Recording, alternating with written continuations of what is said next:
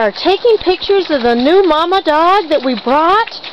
Yes, and got them some, she's a little bit skinny, but we got her some uh, some milk and some, some goat's milk, both for the puppies and her, so they can get stronger.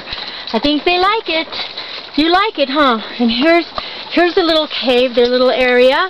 That's where they go inside for the for tonight, and they're all protected. Thanks for, uh, thanks Mama, and thanks for taking care of these little darling puppies. They're so cute. Look at that. Just look at that. Not shy at all. Yes. And there, she'll get more milk probably with this milk. Good. Thanks, Mama Dog.